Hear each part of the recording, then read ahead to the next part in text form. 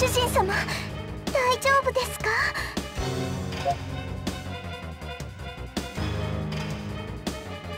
ご主人様。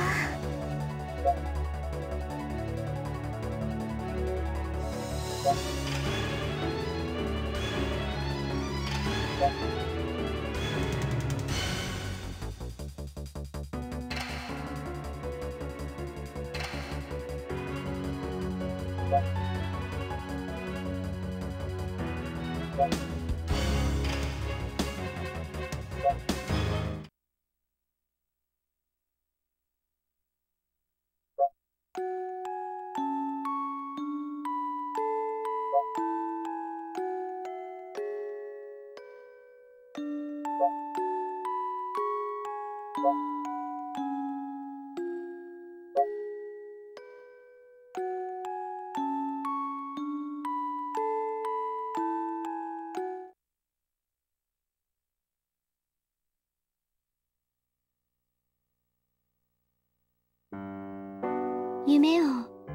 した。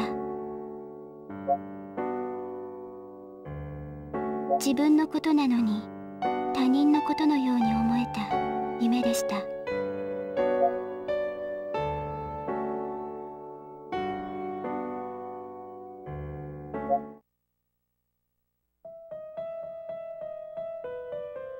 またあの季節外れの桜が咲いたのですね。生まれてはいけなかった。この私のように。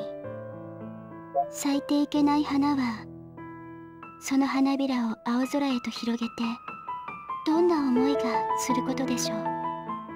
小野だらけのお屋敷は学校のすぐ隣にありました。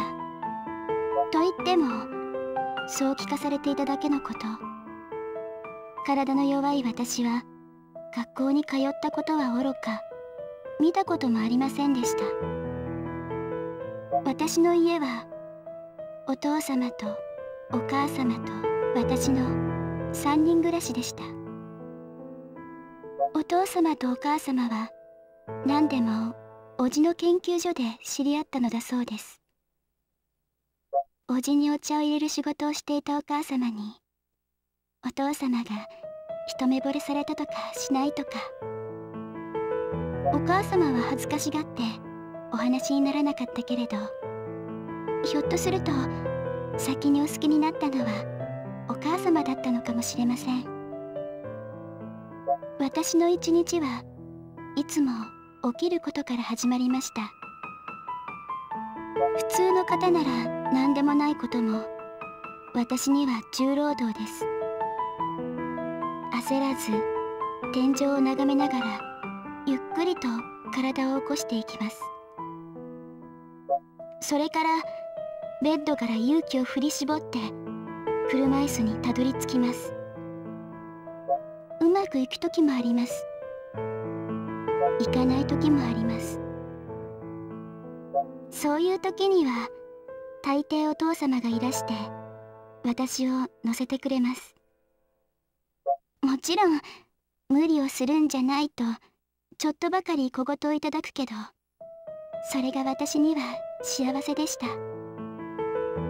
私が大きくなったからかお父様は以前のようにあまり私を抱き上げることがなかったからです。朝食はいつもダイニングでした。テーブルの上の小さな楽園。お父様がいて母様がいて私がいて家族は3人だけ。みんな食べるものは違うけれど私は幸せでした。でもその幸せのマッチもお父様がお仕事に出かけると消えてしまいます。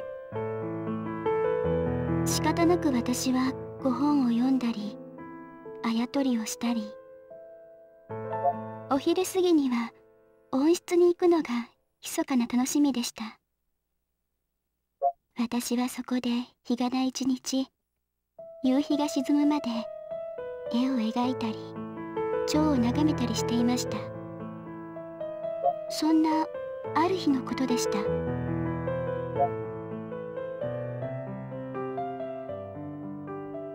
さくら寒くない？ええ平気。そう。お母様ったらどうしたの？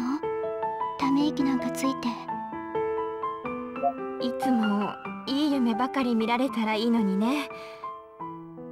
そんなの簡単よ。あらできるの？夢はね絵を描くのと同じなのてみようかしら。お母様にもうまく描けるといいのだけど。私はその夜夢を見ました。決して叶えられない私の夢。私は近くの学校の美術部に入っていて素敵な男の子が一人いて先輩がいて後輩の女の子がいて部員は4人だけだけどもしかすると数年で廃部になっちゃうかもしれないけどアットホームで仲良くてみんな家族みたい。絵なんか描かずに絵の具を投げ合ったり付け合ったりして夢の中の私は車椅子を降りて走り回っていました。私が心のキャンバスに描いた通りの夢でした。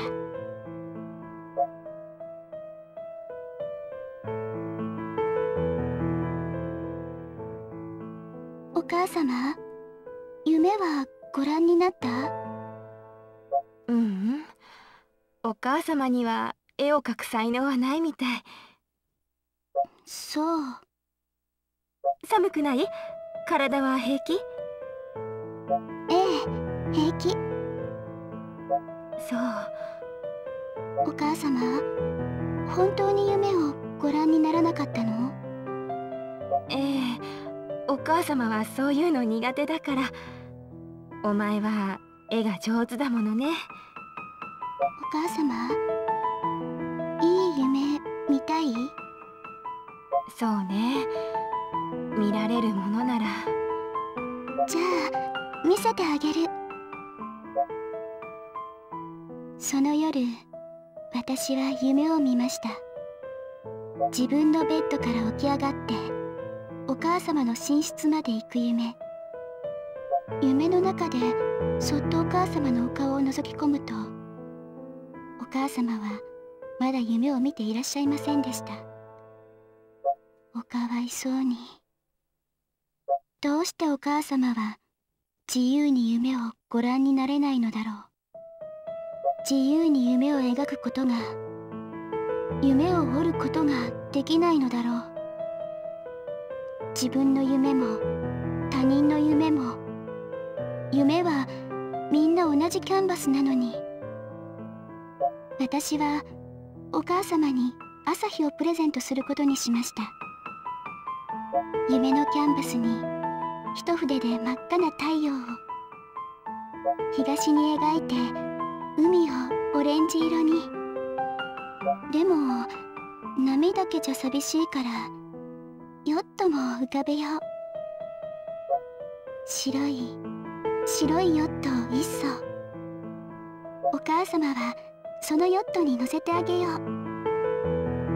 目が覚めた時にとっても素敵な気分を味わえるように。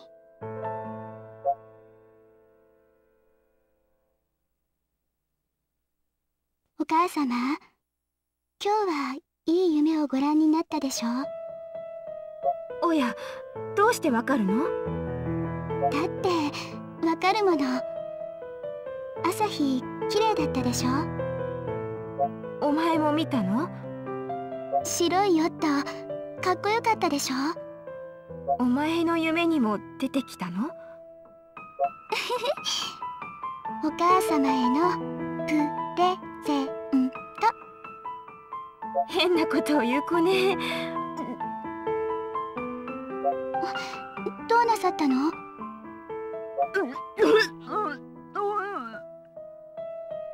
お母様？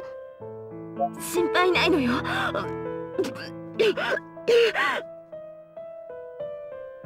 お母様？大丈夫。お母様少し病院に行ってくるわ。病院？どこかお悪いの？お楽しみ。お父様？さくら。お母様大丈夫なの？ああよくお聞き。お前に家族ができるんだよ。家族？ああ多分男の子だろうってお父様それって？そうだよ。お前に弟ができるんだよ。お母様おめでとう。あらお父様から聞いたの？男の子が生まれるの？そうよ。やっと男の子が生まれるの。お母様ずっと男の子が欲しかったの。いつ？いつ生まれるの？そうね。秋かしら。楽しみだな。お母様もう名前は考えてあるの？これから考えるの。部屋に戻ってから私は考えました。初めてできる新しい弟。4人の生活。いっぱい子守りとかおむつのお世話とかしてあげたいな。名前は何になるんだろう。私が一文字だったから一文字？元気な男の子だといいな。お母様？お腹の赤ちゃんはどう？ええ平気。昨日お腹を蹴ったのよ。そう。名前何にしようかしらね。スポーツもできて勉強もできて元気で風邪をひかなくてっていう名前ないかしら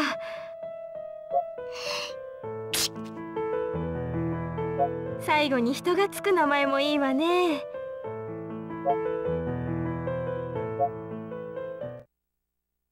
少し風邪をひいちゃった。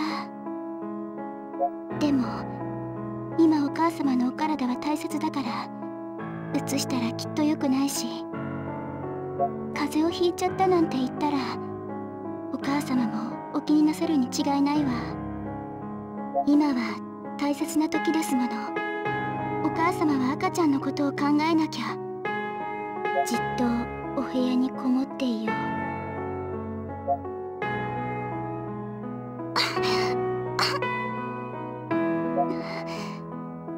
熱かな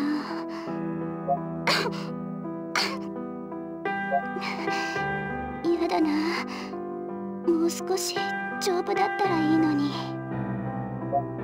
さくら入るよお父様。さあちょっと血をきれいにしようか。ええ。ん？風邪か？うん。喉が詰まっただけ。嘘を言いなさい。顔が少し赤いじゃないか。平気よ。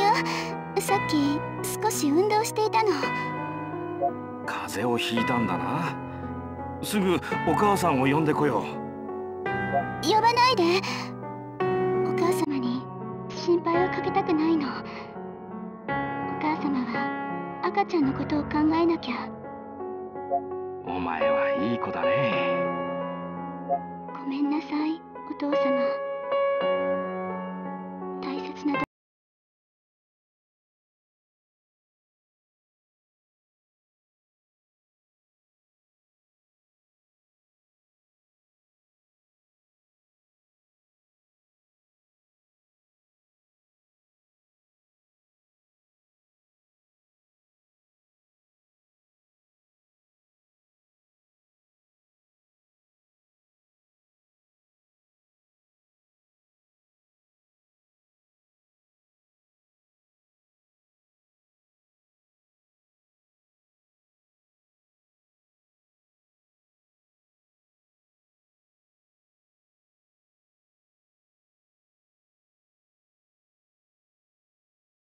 していたんだってね。ええ。気をつけないとダメだよ。赤ちゃんに移ったら大変なんだから。ごめんなさい。この子ったら昨日もまたお腹を蹴ったのよ。元気な子だよ。まあ。どんな服を着せてあげようかしら。さくら。ごめんなさい。お母様は赤ちゃんがいらっしゃるんだもの。